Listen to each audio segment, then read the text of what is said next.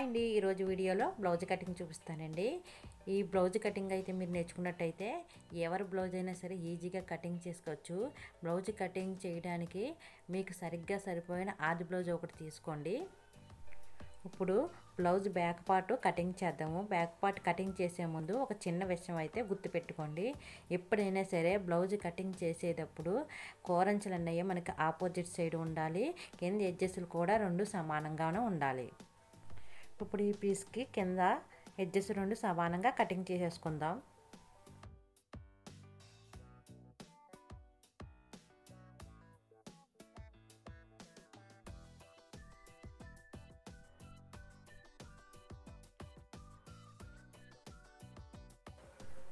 ఇప్పుడు ఆది బ్లౌజు పొడవు ఒకసారి చెక్ చేద్దామండి. పొడవు చెక్ చేసే ముందు కింద మనం ఎడ్జెస్ రెండు సమానంగా కటింగ్ చేసేసుకున్నాం కదా అక్కడ పావించి ఎడల్పుతో ఒక మార్కింగ్ చేయాలి. ఈ మార్కింగ్ అనేది మన బ్యాక్ పార్ట్లో ముక్క తిప్పుతాం కదా ఆ ముక్క తిప్పడానికని ఒక పావించి ఎడల్పుతో మార్కింగ్ చేయాలి.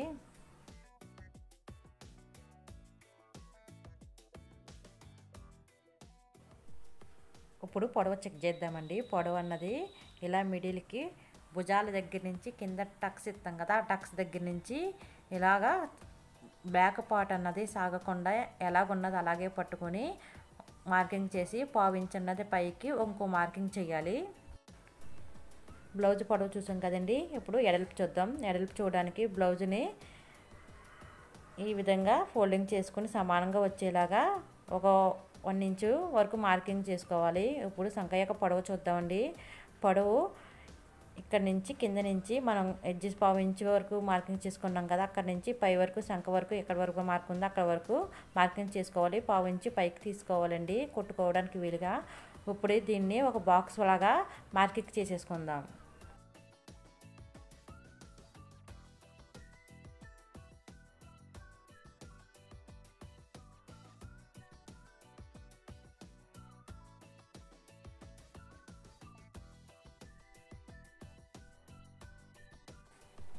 ఇప్పుడు మెడ అలాగే భుజాలు చూడడానికి బ్లౌజ్ని సమానంగా నీట్గా సర్దుకోవాలండి.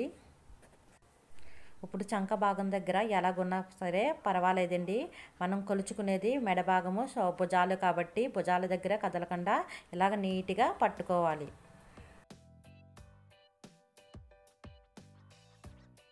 భాగం దగ్గర ఒక మార్కింగ్ చేసి షోల్డర్ భుజాలు ఉంటాయి కదండి భుజాల దగ్గర ఒక మార్కింగ్ చేయాలి. అలాగే పావించు ముందుకి కుట్టుకోవడానికి కుట్లకు కావాలి కాబట్టి ఒక పావించు అన్నది ముందుకి మార్కింగ్ చేయాలి.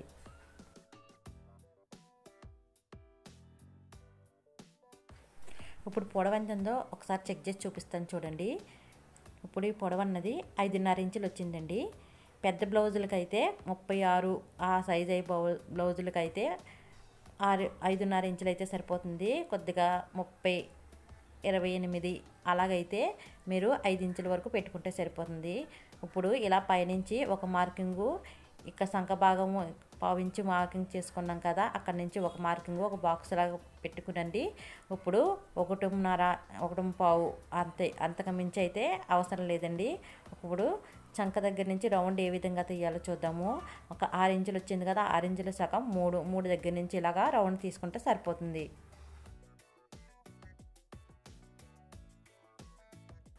ఇప్పుడు మనకి మెడ పొడవు చూడాలండి. పొడవు చూడాలంటే పైనుంచి చూడవలసిన అవసరం ఏమీ లేదండి. కింద నుంచి మనం పావించి మార్కింగ్ చేసుకున్నాం కదా అక్కడ నుంచి అసలు ఎంతవరకు ఉందో అంతవరకు పెట్టుకుని పావించి కుట్టు కోసమని పైకి ఇలా మార్కింగ్ చేసుకోవాలి. ఇప్పుడు పైన మనకి రెండున్నర ఇంచులు వస్తాయి ఇక్కడ కూడా రెండు రెండున్నర ఇంచులే పెట్టాలనేది లేదండి. మనకి బ్రాడ్గా కావాలి కొంచెం ఎడల్పుగా కావాలంటే మూడు ఇంచులు పెట్టుకోవచ్చు. లేదు అంటే రెండున్నర ఇంచు పెట్టుకుని ఇలాగా ఒక మార్కింగ్ చేసుకోవాలి. మెడ రౌండ్ తీయడానికి ఒక పావించి చాలండి. పావించి వరకు ఇలా రౌండ్గా మార్కింగ్ చేసుకోవాలి.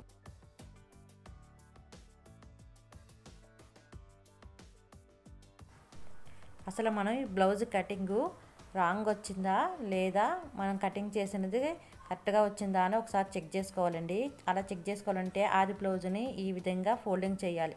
ఆది బ్లౌజ్లో టక్స్ కుట్టుకున్నాం కదా దాని పైనుంచి ఈ విధంగా ఫోల్డ్ వేసి ఇక్కడ ఖర్చు దగ్గర అసలు కుట్టు ఉంటుంది కదా మనకి ఫిట్టింగ్ అన్నది కుట్టు ఉంటుంది కదా ఆ కుట్టు దగ్గరికి ఈ విధంగా మార్కింగ్ చేసుకోవాలి.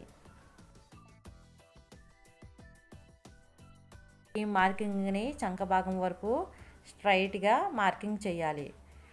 ఇప్పుడు చంక భాగం నుంచి పైన ఒక పావించి వదిలేసి ఆది బ్లౌజ్ని తీసుకొని రౌండ్గా ఒకసారి చెక్ చేసుకోవాలి.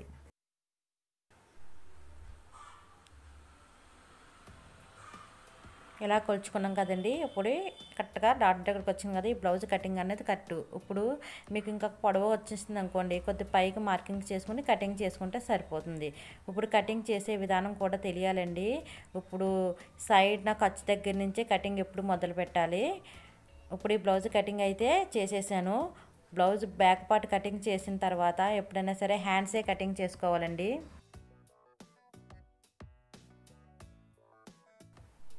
ఇప్పుడు హ్యాండ్స్ కట్ చేయడానికి బ్యాక్ పార్ట్ కటింగ్ చేసాం కదండి. దానికి ఆపోజిట్ సైడ్ ఈ విధంగా తీసుకోండి. హ్యాండ్స్ కట్ చేసుకునేటప్పుడు కింద ఫోల్డింగ్ కూడా పైన ఫోల్డింగ్ కూడా సమానంగా ఉన్నాయో లేదా నీట్గా చెక్ చేసుకోవాలండి. లేదంటే మీకు ఒకటి ఎక్కువ తక్కువ వచ్చేస్తుంది. హ్యాండ్స్కి ఎంబింగ్ చేసుకునేలాగుంటే ఒకటిన్నర ఇంచుకి మార్కింగ్ చేసుకుని స్ట్రైట్గా లైన్ అయితే తీసుకోవాలండి. హెమ్మింగ్ అవసరం లేదు మాకు అనుకున్నట్టయితే మీకు పావించి సరిపోతుంది. ఇది లైనింగ్ బ్లౌజ్ కాదు కాబట్టి హెమ్మింగ్ చేసుకోవడానికి ఒకటిన్నరకి మార్కింగ్ చేస్తున్నాను. ఇప్పుడు ఆది బ్లౌజ్ తీసుకుందాం. ఆది బ్లౌజ్లో పొడవు ఒకసారి చెక్ చేద్దాం. ఆది బ్లౌజ్లో పొడవు ఎంత ఉందో అంతవరకు మార్కింగ్ చేసుకోవాలి.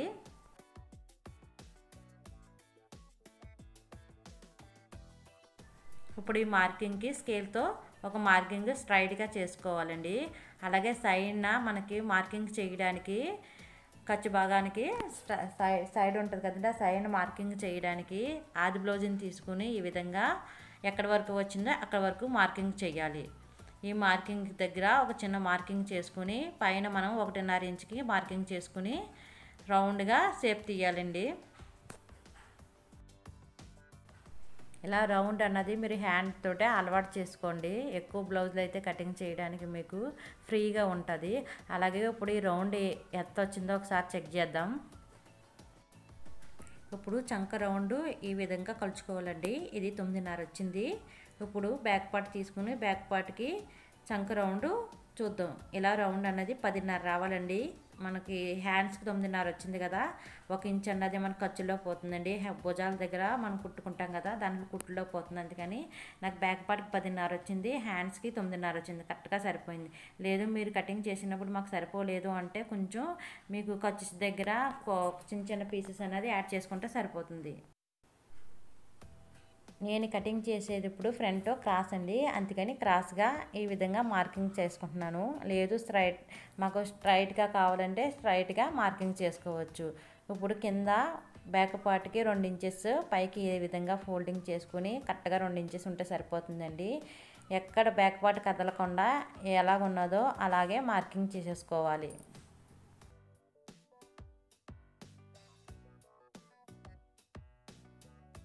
నేను బ్యాక్ పార్ట్లో కూడా నెక్ అయితే కటింగ్ చేయలేదండి. ఎందుకంటే ఫ్రంట్ అన్నది కటింగ్ చేసిన తర్వాతే బ్యాక్ పార్ట్ అన్నది నెక్ అన్నది కటింగ్ చేస్తున్నాను. ఎందుకంటే మార్కింగ్ అన్నది కరెక్ట్గా నీట్గా వస్తుంది. అందుకని చెప్పి నేను బ్యాక్ పార్ట్ నెక్ అన్నది కటింగ్ చేయలేదు. ఇప్పుడు ఈ విధంగా మార్కింగ్ చేసుకున్నాం కదా. ఫ్రంట్ నెక్ అన్నది తీసుకోవడానికి బ్లౌజ్ని ఈ విధంగా నీట్గా ఎలాగున్నదో కదలకుండా అలాగా నీట్గా సర్దేసుకోవాలి.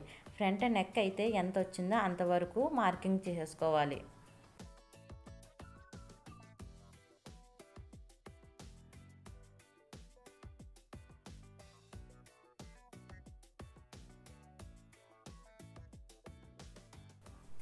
ఇప్పుడు ఉక్స్ పట్టి దగ్గర నుంచి ఒకటో ఉక్స్ దగ్గర నుంచి నాలుగో ఉక్స్ వరకు మార్కింగ్ చేసుకుంటే మనకి ఉక్స్ పట్టి తాడుపట్టి కుట్టుకోవడానికి వస్తుందండి ఇక్కడ నుంచి పైనుంచి ఒకటి మార్కింగ్ చేయాలి. నాలుగో బుక్స్ ఎక్కడి వరకు వచ్చిందో అక్కడ వరకు ఇప్పుడు శంఖ భాగం దగ్గర నుంచి సేప్ పట్టి అదుగుతాం కదండి. అతికే వరకు ఎక్కడ వరకు మార్కింగ్ ఉందో అక్కడ వరకు ఒక మార్కింగ్ చేసుకోవాలి.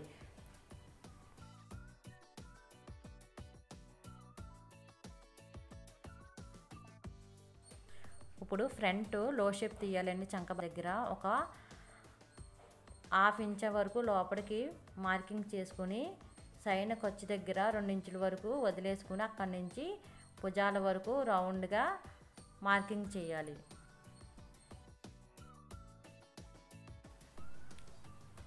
ఫ్రంట్ భుజాల దగ్గర నుంచి కింద వరకు కూడా షేప్ మార్కింగ్ చేయాలండి. ఆది బ్లౌజ్ని తీసుకుని ఆది బ్లౌజ్ని భుజాల దగ్గర నుంచి కింద షేప్ ఎక్కడి వరకు ఉందో అక్కడ వరకు ఈ విధంగా సాగకుండా నీట్గా పట్టుకొని మార్కింగ్ చేయాలి. ఇప్పుడు నీట్గా ఈ మూడు మార్కింగ్లు నీట్గా రౌండ్ వచ్చేలాగా మార్కింగ్ చేసుకుని ఫ్రంట్ కూడా కటింగ్ చేసుకోవాలి.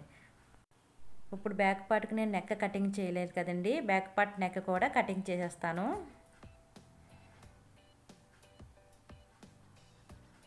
బ్యాక్ పార్ట్లో నెక్ అన్నది ముందే కటింగ్ చేసుకున్నట్టయితే ఫ్రంట్ సరిగ్గా మార్కింగ్ చేసుకోవడానికి అయితే బిగినర్స్కి రాదని చెప్పి నేను బ్యాక్ పార్ట్ కటింగ్ చేయకుండా నెక్ చూపించానండి. ఇప్పుడు సేప్ పట్టి ఏ విధంగా కటింగ్ చేయాలో చూపిస్తాను. ఇప్పుడు సేప్ పట్టి కటింగ్ చేసుకుందామండి. సేప్ పట్టి కటింగ్ చేసుకోవడానికి ఇలా టూ పీసెస్ అయితే తీసుకున్నాను. నీట్గా సర్దుకోవాలండి. కింద పీస్ కూడా సమానంగా ఉందో లేదో చెక్ చేసుకొని బ్యాక్ పార్ట్ తీసుకుని బ్యాక్ పార్ట్ ఎంత పొడవు ఉందో అంతవరకు మార్కింగ్ చేసుకోవాలి. ఇప్పుడు ఇక్కడ నుంచి నాలుగించుల వరకు మార్కింగ్ చేయాలండి.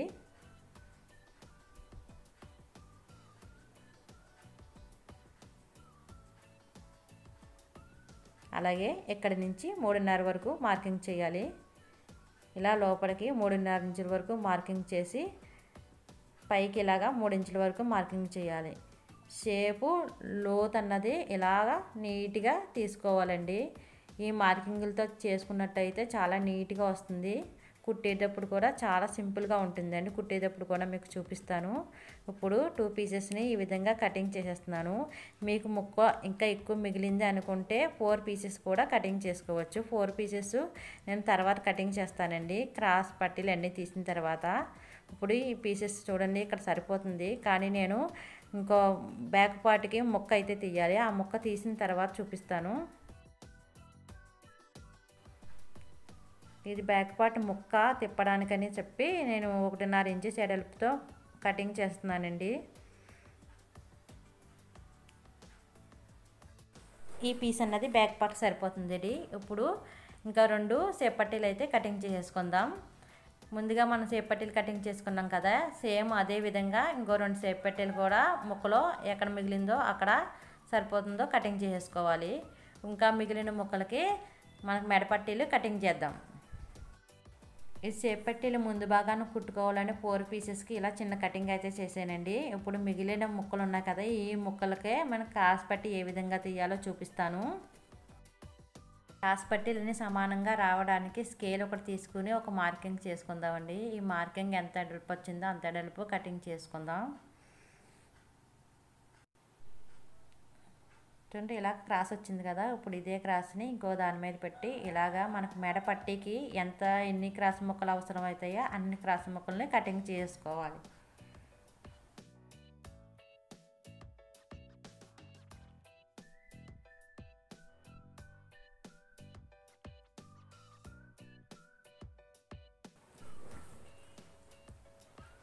ఇప్పుడు హ్యాండ్స్కి మీకు జాయింట్ పడుతుంది అనిపిస్తే మట్టుకి చిన్న చిన్న పీసెస్ అన్నది తీసుకుని జాయింట్ చేసుకోవాలండి. ఇంత చిన్న చిన్న పీసెస్ అయితే సరిపోతుంది. ఇప్పుడు ఫ్రంట్ కూడా బ్యాక్ కూడా ఒకసారి చూపిస్తాను చూడండి ఎంత నీట్గా వచ్చిందో. ఈ బ్లౌజ్ కటింగ్ కానీ మీరు డైలీ ఒక టూ టైమ్స్ అయినా న్యూస్ పేపర్ ప్రాక్టీస్ చేస్తే మీ బ్లౌజ్ మీరు కటింగ్ చేసుకోవడమే కాదండి. బయటి వారి బ్లౌజులు కూడా కటింగ్ చేసుకోవచ్చు. ప్రాక్టీస్ అన్నది చాలా ఇంపార్టెంట్ అండి.